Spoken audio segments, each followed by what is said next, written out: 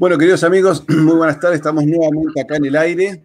Saludamos a nuestros 86 mil amigos. Les pedimos disculpas que tuvimos que levantar eh, eh, la emisión anterior. Estamos aquí con mi amigo Carlos Marcelo Garófalo para hablar sobre la historia del himno nacional argentino. Hola Carlos, ¿cómo estás? ¿Qué tal? ¿Cómo estás vos? ¿Cómo está toda tu distinguida audiencia? Un gusto. ¿eh? Bien, todas las naciones se destacan por tener varios símbolos que es, por ejemplo, suele ser la bandera, en el caso de las repúblicas también tenemos las escarapelas, eh, también a veces están el pabellón presidencial o el pendón real, ¿no es cierto? Y también están los himnos y también están las flores nacionales, ¿no es cierto?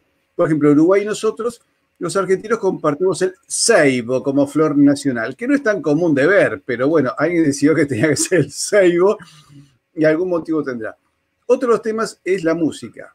Bien, hay músicas que son muy características, todo el mundo, casi todo el mundo conoce la marsellesa, compuesta por Roger Delisle, que nació en la ciudad de Lons, te aclaro. Lons le soñé en el Jura, lo que es el Franco Condado, por donde pasaban los tercios españoles desde la península italiana hasta Flandes, mira vos. Este, y por supuesto, todos conocemos lo rimbombante que es el himno ruso, que da una impresión de grandiosidad, de lo cual después va a hablar Carlos, o las canciones reales como el himno de Inglaterra, ¿no es cierto?, que es toda una declaración política, Dios salve al rey, confunda a sus enemigos, etc. Y también es muy conocido el himno norteamericano por la cantidad de películas. El himno nacional argentino, musicalmente, por lo menos nos hemos acostumbrado a que nos guste. Eh, en marzo de 1813 se le pide a un, diputado de la Asamblea General Constituyente si podía componer un himno. Era Vicente López y Planes, que ya había compuesto Triunfo Argentino cuando vencimos a los ingleses en eh, las invasiones inglesas de 1806-1807, y también eh, Victoria de Suipacha cuando al revés, las fuerzas revolucionarias derrotan a las fuerzas españolas. O realistas, como nos decían cuando éramos chicos, porque en el fondo como que españoles todavía éramos. Finalmente, con fecha del 11 de mayo, aunque al final fue aprobado el día 10, pero no sabemos por qué figura el día 11 de mayo, eh, se da por aprobada la letra de Vicente López y Planes, que había eh, eh, competido contra la de Fray Cayetano Rodríguez. Pero la gente aclamó cuando escuchó la letra, que duraba completa 20 minutos, y dijeron, esta es la música. Ahora, había un músico catalán, Blas Parera, nacido en Murcia, había vivido igualmente toda su vida en Mataró, donde luego fue a morir, que mm, frecuentaba la, casa de Mariquita Sánchez de Thompson, una mujer que se dice que había estudiado para los ingleses, este, ya está fascinada cuando los ingleses nos habían invadido, y luego participó en todo el proceso revolucionario, como buena parte de los, nuestros revolucionarios eran pro-ingleses, este, cuando eran anti-españoles eran anti-nosotros, porque nosotros éramos españoles, mejor, dicho, nosotros. Aquellos antepasados de los que somos criollos que vivían en estas tierras, ¿no es cierto? Porque cuando hablamos nosotros estamos confundiendo los, tiempos verbales también, ¿no es cierto? no éramos nosotros, eran aquellos. Eh, y Blas Paredes, bueno, frecuentaba, eh, como era profesor de música, frecuentaba la casa de Mariquita Sánchez Thompson y dice, ¿por qué me pone música? Y ahí se le puso una música de la cual él se creó, según dice el hijo, se inspiró en el himno de David, otros hablan de una sonata de Mozart y Carlos me hablaba también de una composición italiana. Carlos, ¿cuál es la verdad sobre el himno nacional argentino, sobre su música sobre todo? ¿Qué mérito tiene lo que hizo Blas Parera? ¿Se perdió o no se perdieron esas estrofas? ¿Y qué pasó con las modificaciones que hizo Pedro Esnaola? Bueno, hay muchos estudios al respecto, el más importante es el Ernesto de la Guardia. ¿eh? y mm, bueno, Blas Parera, como bien vos dijiste, es un músico español, pero un músico más bien aficionado. En la época de la colonia, eh, nosotros no teníamos una escuela de compositores que se pueda mencionar como tal, ¿no? De hecho, cuando en los 1770, 80, eh, un poco antes también se buscaba música de calidad, muchas veces se buscaban a los eh, músicos que eran los propios eh, indios de las misiones jesuíticas, ¿sí?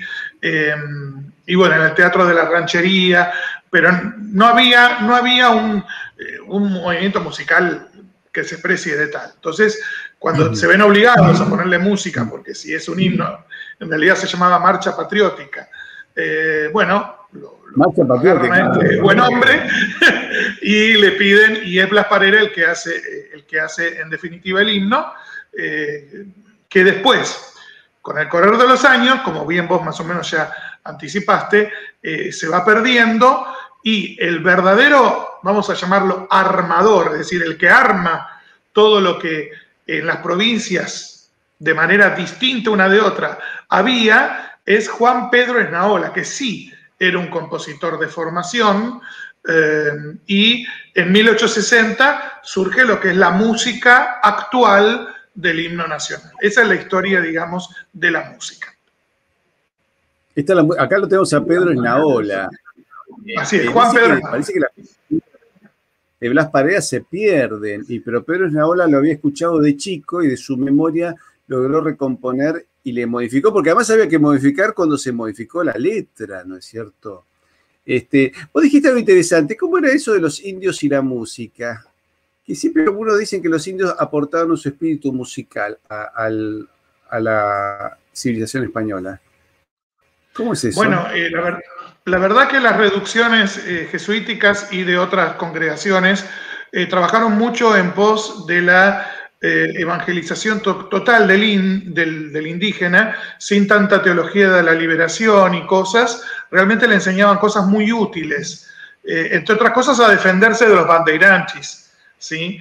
que los querían como esclavos en las zonas aledañas a los terrenos portugueses, eh, los indios se defendían. Tal es así que Buenos Aires, vos lo sabes mejor que yo como historiador, muchas veces pidió tropa eh, de las reducciones para defenderse o para acometer eh, determinados peligros que la acechaban, ¿no es así? bueno, también se enseñaban a construir.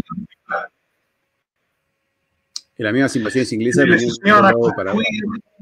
a, a la, la, agricultura, la ganadería, y también les enseñaban a cantar, a tocar instrumentos. Hay muchísimos, muchísimos instrumentos construidos por los propios indios y tocados por los propios indios. ¿sí? Tenían sus orquestas y sus compositores. Eh, el, más importante, eh, bueno, eran europeos, eh, por lo menos los que conocemos nosotros, fue Domenico Cipoli.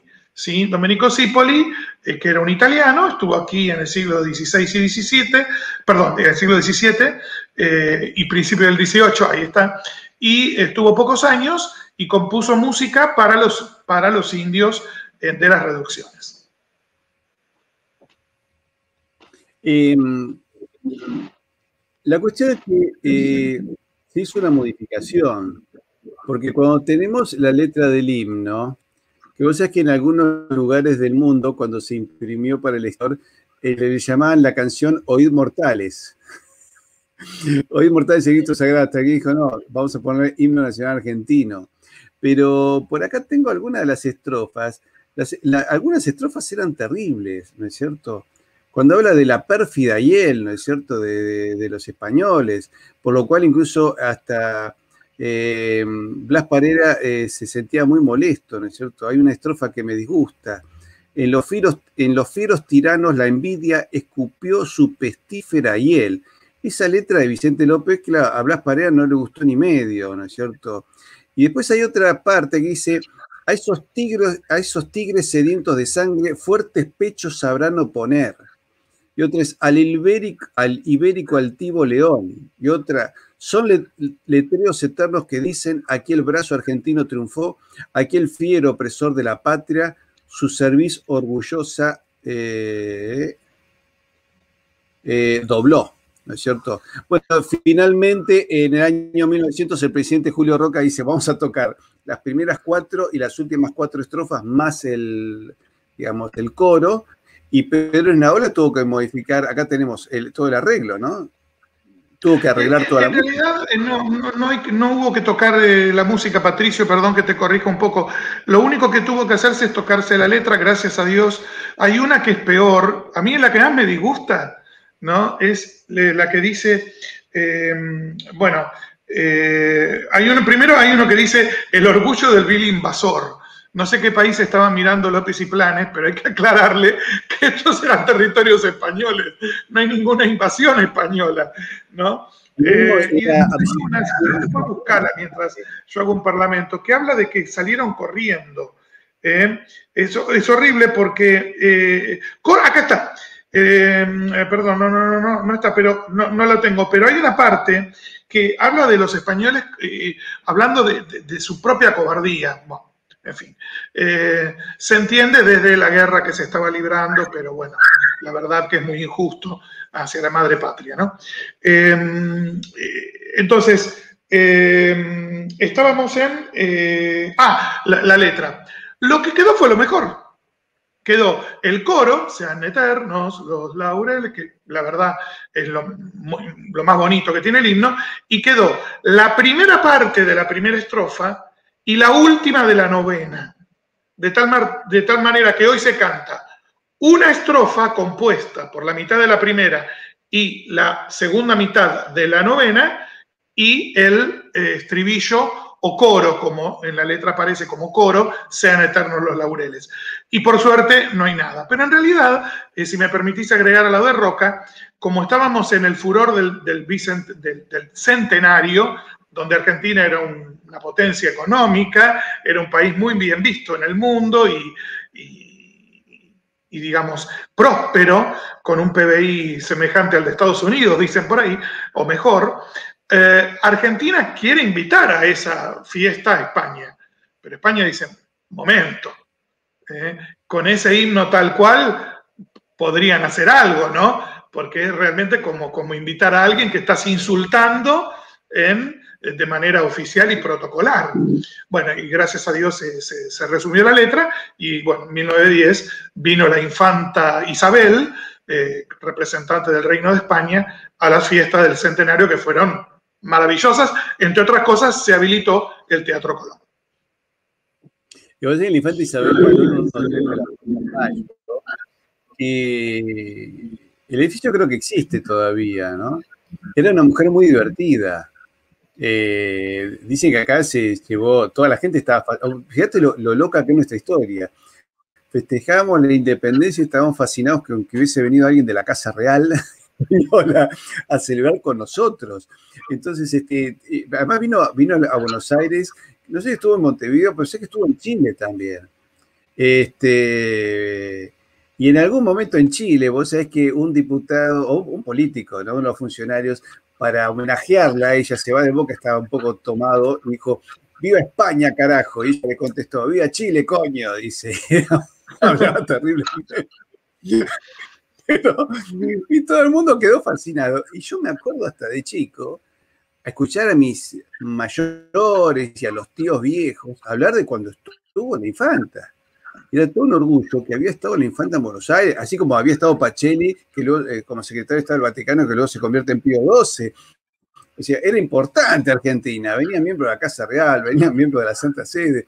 Entonces, este, y yo me acuerdo que esa cosa todavía hoy, entrevistas algún, ejemplo, historiador militar y habla con el mismo orgullo del pasado español como el de habernos separado de España, ¿no es cierto? Es, hay como un oxímoron, hay una contradicción terrible, pero bueno, ese es un problema del no entender los fundamentos de una civilización y que se ganó y que se perdió. Ahora, Vicente López y Planes era 100% español, era hijo de un funcionario español incluso él.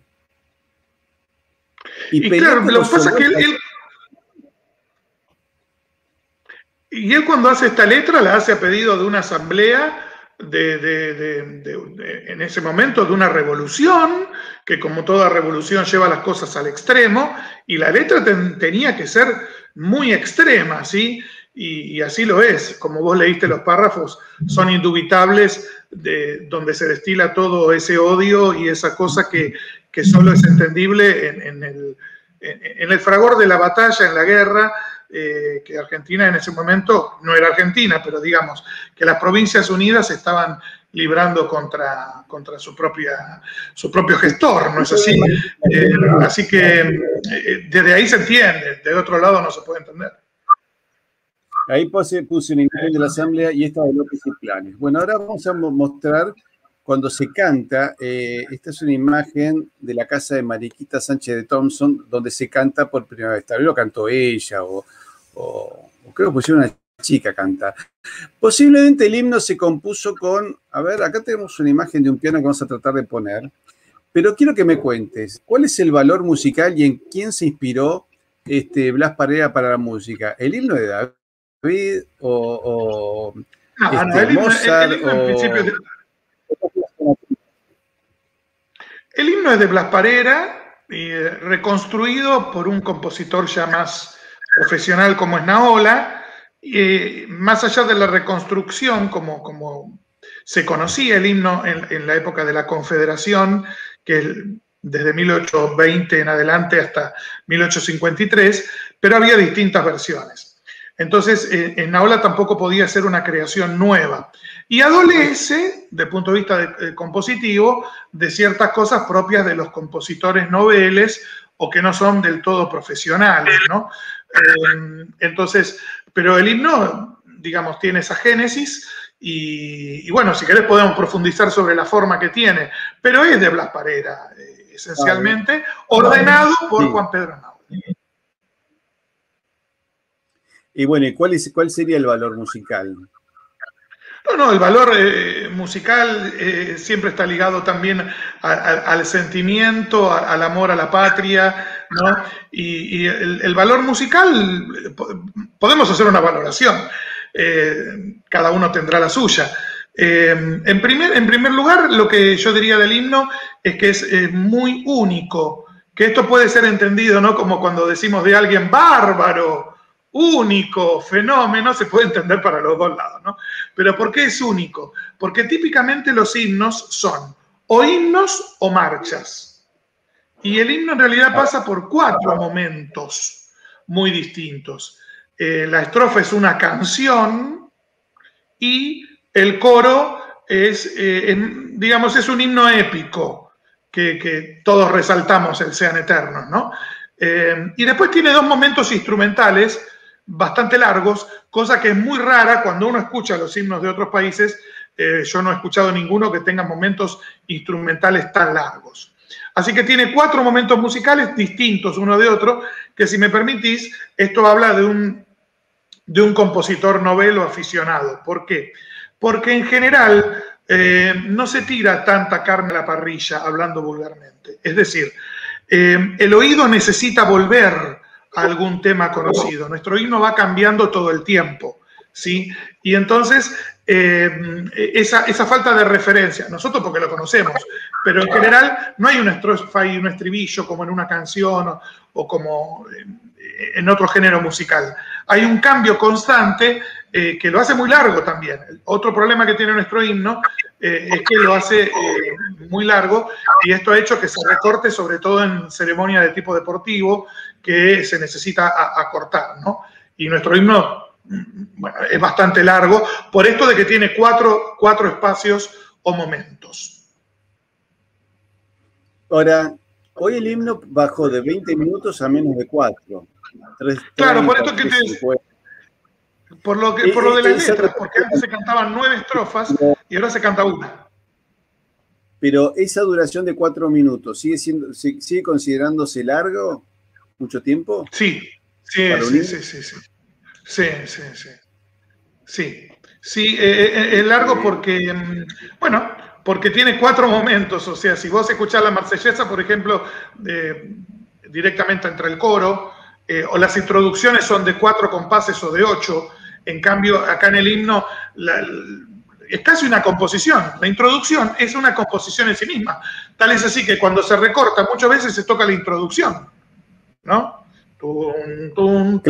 y, esta parte, y cuando empiezan los inmortales vas a empezar a cantar y te la cortan. Muchas veces es así eh, la grabación. Y bueno, es así, eh, porque claro, eh, en el norte argentino, entre los tantos cambios que sufrió el himno nacional, le agregaron unas estrofas, alguien le compuso unas estrofas para la introducción le pusieron letras a la introducción donde se valora un poco aquel pasado español y aquel pasado católico no en forma muy explícita, pero queda implícito, incluso fue motivo de crítica, ¿no? Por, por esta cosa laicista, enfermiza del espíritu revolucionario que pretendía abolir toda la tradición eh, española y meternos en el mundo de la ilustración, que bastante dolor de cabeza y bastante empobrecimiento le ha provocado a nuestra tierra, ¿no es cierto? Eh, pero creo, el himno de España es más corto. Ahora, el himno de Rusia y el Dios salve a la reina, ¿esos no son también medio largos? Eh, no tanto como, como el nuestro, pero aparte lo que tienen más allá de la, de, la, duración, el himno alemán también es más breve, eh, la marsellesa también, eh, lo que tienen es que desarrolla una sola idea. Esto es lo más importante en una, en una composición. Eh, nuestro himno tiene cuatro ideas. En cambio, los, digamos, estos himnos que estamos mencionando tienen una idea y la desarrollan. ¿sí? Entonces, eso hace que, que sea como más, eh, ¿cómo puedo decir? Más neto, más pleno, eh, más centrado desde el punto de vista de la composición musical. No estoy criticando el himno, eh, porque el, el Oíd Mortales es una bella canción. Uno puede decir que es una bella canción. Y visto con buenos ojos, hasta podríamos decir que tiene un cierto ritmo ahí, himno. Pero es, es muy lírico. Y como lírico es único y como tal también tiene su valor que sea propio. O sea, son cuestiones también interpretativas. Pero en definitiva, esto de, los, de las cuatro secciones, cuando vienen otras bandas, vos sabés que las bandas a nivel internacional intercambian mucho himnos y marchas, ¿no? Y se sorprenden con el himno argentino. Y les gusta porque es algo distinto. Porque siempre cuando viene el himno de un país es típicamente o una marcha o un himno. Duración, dos minutos y medio. Es más o menos un estándar. Entonces, claro, el, el himno argentino sorprende a los directores de banda extranjeros como algo distinto, algo propio y bueno, en ese sentido también nos caracteriza. El tema de cortar estrofas se da también en la marsellesa. Eh, a mí cuando me tocó estudiar francés, eh, me acuerdo que te enseña la marsellesa. Yo casi la, la, tendré que repasar un poquitito, pero me la sé eh, cantar. A de la patria. Sí, y arranca directamente con la letra. Eh, ¿No es cierto? No tiene una introducción. Y es muy marcha, ¿no es cierto? Lo, nuestro es realmente himno. Yo te lo categorizaría así. Yo te lo categorizaría así siendo justos, ¿no? Eh, la introducción es una introducción que tiene el famoso eh, pam, pam, pam, pam, que Ernesto de la Guardia dice que es sacado de una sonatina de Clementi, eh, está en un montón de lados, con otro ritmo, pero acá copia el ritmo, pero en fin. La introducción, que es un llamado, un llamado como heroico, y después la, estructura y la cambia y la hace rápida, y bueno, es una introducción, es como una pequeña burita por un lado. el oído mortal es lo que llamamos la estrofa, para mí es una canción no, no, termina de cuajar como himno. El himno es más solemne, es más cadencioso. La canción es más lírica. Por lo tanto, tiene más vuelo que un himno, si querés, pero tiene menos porte que un himno.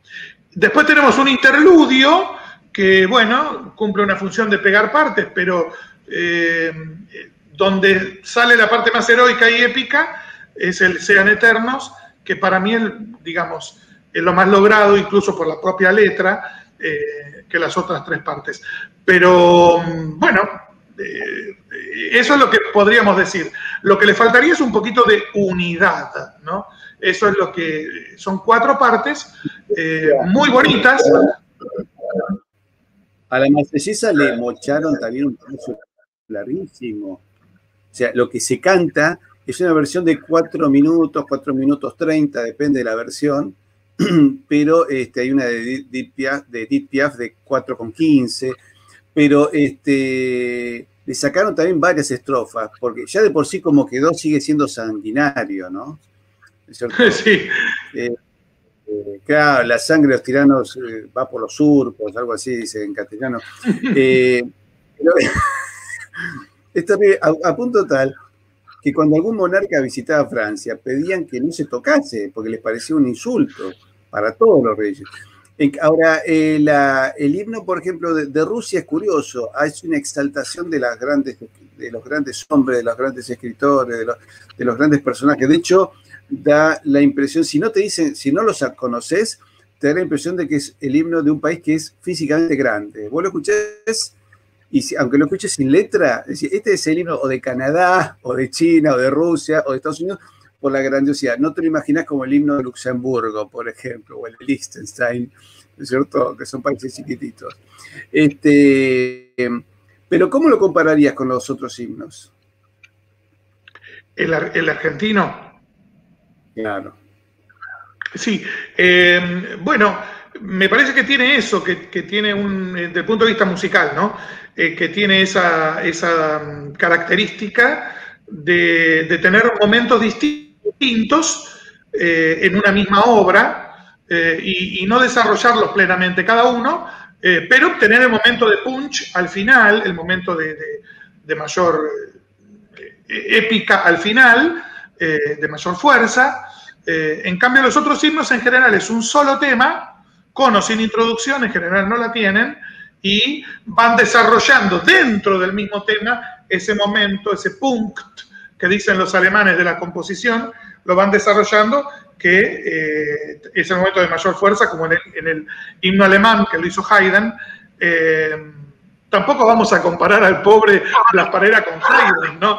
Eh, o, con Händel del himno inglés. Digamos, son incomparables entre los grandes compositores de la historia y después un músico respetable, pero de una, de una aldea del fin del mundo, ¿no? Eh, pero de todas maneras eh, le salió bastante inspirado y bueno, y después la reconstrucción de, de Esnaola es muy buena, él reconstruye eso. Pero esa es la diferencia. Cuatro secciones distintas y en los otros himnos es una sección desarrollada, que puede durar lo mismo tal vez en algún caso, pero es una sola sección desde el punto de vista musical. Eh, ¿Puede ser que se haya compuesto en un, piano de estas características que estamos mostrando? Sí, sí, este piano es eh, uno de los tantos pianos que había en los 1800. Eh, hay una versión de La Bandeira, que es un pianista joven argentino que, lo tiene grabado en un piano así, no sé cómo le permitieron porque están en los museos y no lo dejan tocar, pero bueno, está muy linda la versión. son pianos que son mucho menos sonoros que los actuales, con menos teclas menos agudos y menos graves. ¿eh? Eh, así que bueno. Sí, sí, en un piano así seguramente.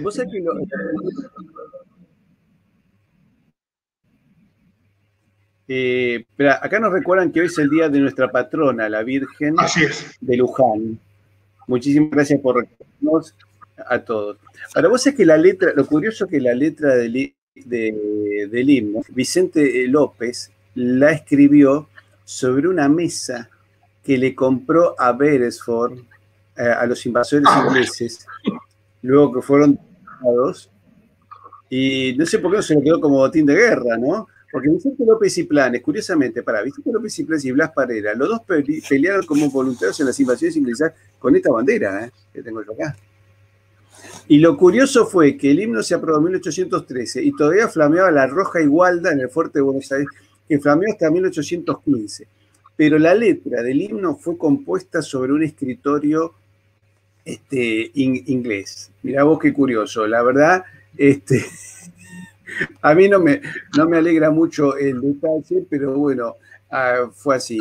Eh, ¿Con qué podemos cerrar la historia del himno? Además de que voy a decir algo de Blas Parera, que es muy triste, pero vale la pena. Bueno, podemos eh, cerrar la historia del himno eh, homenajeando un poco a aquel que fue su mentor final, su organizador final, que es Juan Pedro Esnaola, ¿no? del cual no hemos hablado mucho. Juan Pedro Esnaola, eh, ya que vos siempre tenés la bondad de remitir a, mi canal de YouTube, que con el nombre que figura aquí en el programa, Carlos Marcelo Garofa, lo pueden acceder ahí, tengo un programista que se llama ¿Sabías qué?